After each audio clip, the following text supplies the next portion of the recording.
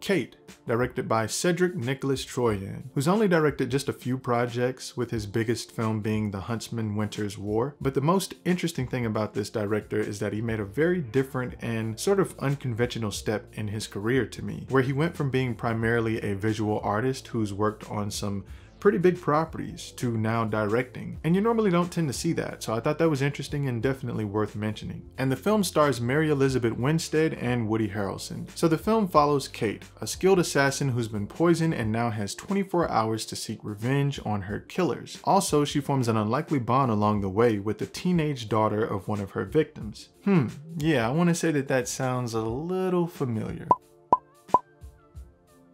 Nah, We've never seen this before. But anyway, I want to start this off by saying that I think that I would put Mary Elizabeth Winstead in my top 10 female actress, actresses, actresses of all time. I would put her in my top 10. Maybe even my top five. I don't really want to push it though, but I probably would put her in my top five, maybe. I mean, overall, I think that I would say that she makes pretty decent choices when it comes to most roles that she's chosen in the past. And uh, when it comes to Kate, I might be a little bit biased, but I think it, I think it kind of works, you know?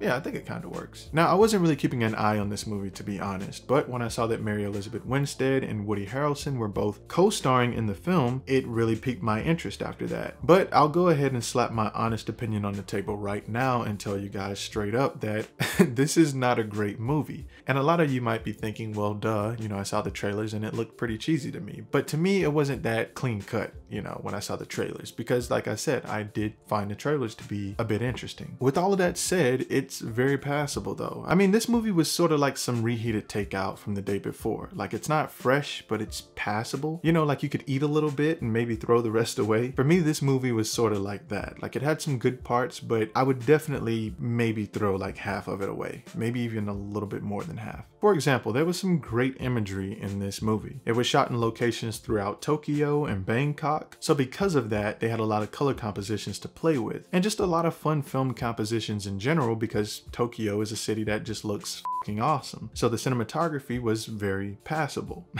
and there's that word again. But I just can't help but use it while discussing this film. I mean, shit, it's a very kind of like passable movie. I mean, some people might say it's trash, but I, I, think it's passable. Also in this film, although I do love Mary Elizabeth Winstead, I would definitely say it's on the level of satisfactory. Nothing amazing. I mean, I didn't really have any major issues with her performance. Uh, I think she portrayed the character of Kate well enough.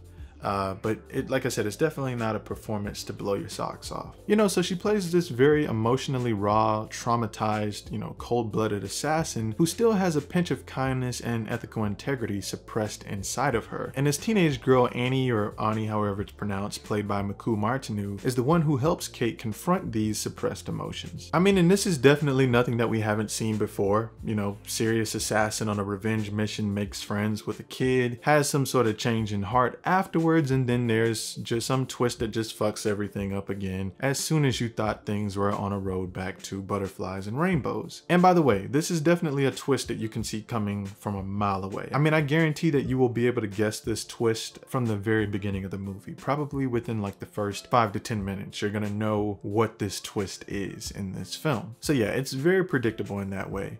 So I'm giving Kate a 6.5 out of 10.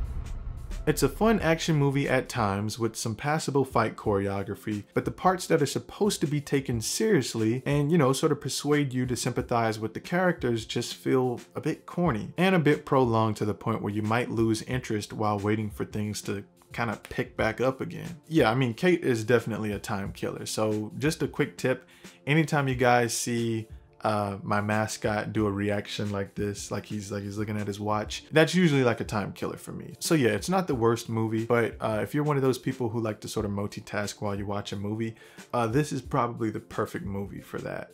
yeah. But Kate releases Friday, September 10th on Netflix and in some select theaters. But there you have it, and if you enjoyed the content, you know what to do. Thank you for watching.